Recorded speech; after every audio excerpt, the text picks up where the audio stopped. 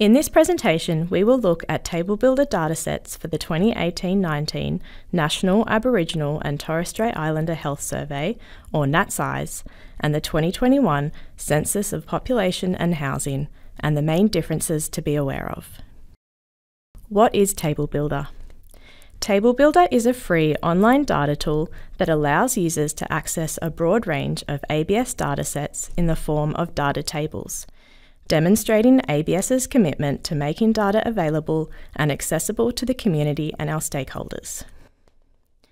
It allows for quick, simple, and comprehensive data access, which can be used by data novices and statisticians alike.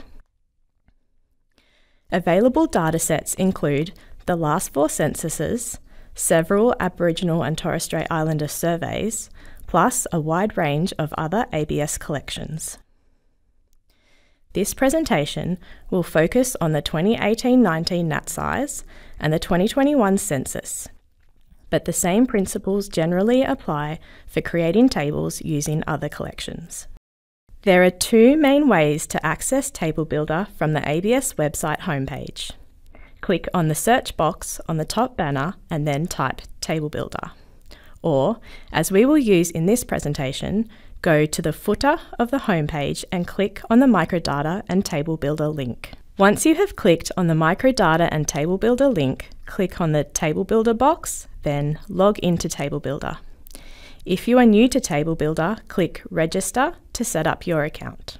The QR code displayed on screen will take you to the registration page on the ABS website. New users should sign up for Table Builder via the Registration Centre where they will automatically be granted access to census basic offerings and businesses in Australia. Users who are attached to an organisation will be eligible to access Census Pro and other survey offerings. Users who sign up for Table Builder via the Registration Centre using their organisation email domain will automatically be joined to their organisation's registered account to provide further accesses. To register your organisation, please email the Table Builder support team at microdata.access at abs.gov.au. This slide shows where the 2018-19 NATSIHS and 2021 census datasets are located within Table Builder. The 2018-19 NATSIHS dataset can be found within the Aboriginal and Torres Strait Islander Peoples folder. The census is organised by each census year then, within each year, the datasets are available for Table Builder Basic, Pro, and homelessness estimates. Census Table Builder Basic contains broader topics or datasets that contain predefined tables. These contain variables relating to the topic. If the predefined tables are not required, then double-clicking on any of the datasets will open a table view where you can create your own table with the available data items. Be mindful of which dataset is selected as this will impact what variables can be used. Predefined tables are not available for any of the Aboriginal and Torres Strait Islander survey datasets. Table Builder allows users to create their own grouping of categories within a variable. These are called custom data and sometimes are referred to as recodes. Custom groups can be saved in Table Builder or downloaded and shared with other users for uploading. Custom data is useful for creating unique groupings such as age groups or loading updated geographical boundaries. Custom recodes are created using the blue Custom Data button located in the bottom left-hand corner of the table view screen and will be shown in the Census Table Builder demonstration. The exception to this is creating custom age groupings in the 2018-19 NATSIHS Table Builder, where they are created using a custom range, located under the Summation Options folder, then Person Level, then Demographics. Once created, these are available to use in a table and sit within the folder called Ranges. Further instructions about how to create custom data is available in the Table Builder section of the ABS website. There are several differences between the NATSIHS and census data collections. Data collected from the NATSIHS and census are not comparable due to differences in their scope and design. In the NATSIHS, only part of the total Aboriginal and Torres Strait Islander population is approached. As only a sample of people were surveyed, their results are converted into estimates for the whole population. This process is called weighting. As a result, surveys are subject to a degree of sampling error. In the census, all people present on census night are approached, so there is no weighting required and no sample error involved. There is also a difference in the level of geography at which data from these collections are available. The NATSIHS was designed to produce reliable estimates for the whole of Australia, for each state and territory, and for remoteness areas.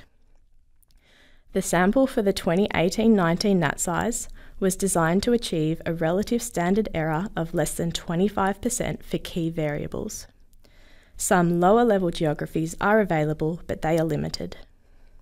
In the census, data for small geographic areas are available, assuming satisfactory response rates were achieved. Content between these two collections also differ. NATSIHS includes more detailed health related topics, while the census covers broader themes but has limited health related information. There is a difference in available geography levels between the NATSIHS and census datasets.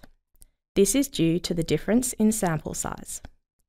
The overall coverage of the 2018 19 NATSIHS was approximately 33% of the Aboriginal and Torres Strait Islander population, while the census aims to capture everyone. It is important to remember that data quality reduces as the geography area reduces. Adding multiple variables into a table for a small geographic area will impact data quality as the applicable population has decreased. Census geographical areas are available based on either place of usual residence, which is the place where a person usually lives, and place of enumeration, which is where a person was staying on census night. Within Table Builder Basic, the dwelling and family level datasets use place of enumeration, while the rest use place of usual residence. To provide a practical example of the geographic differences, we will use Alice Springs and the Indigenous structure geography. The Indigenous structure is made up of three levels. The largest is Indigenous regions, then Indigenous areas, and the smallest Indigenous locations. For the 2018 19 NATSIHS, only the Indigenous regions level is available. For the 2021 census, all levels of the Indigenous structure are available.